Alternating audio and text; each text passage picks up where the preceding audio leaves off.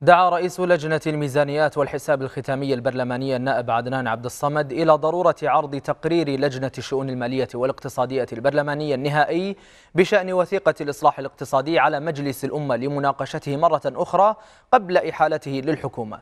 وأكد عبد الصمد أن الوثيقة تضمنت تفاصيل خطيرة مرتبطة بخصخصة التعليم والصحة والشركات الحكومية الرابحة وإلهامه واتهامه. ولم تأخذ حقها بالنقاش نظرا لتركيز المجلس على قانون تحديد تعرفتي الكهرباء والماء.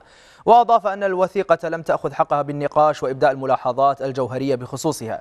مبديا رفضه لكثير مما تضمنته الوثيقة خاصة أنها رؤية حكومية بحتة لم تتضمن رأيا نيابيا مدروسا.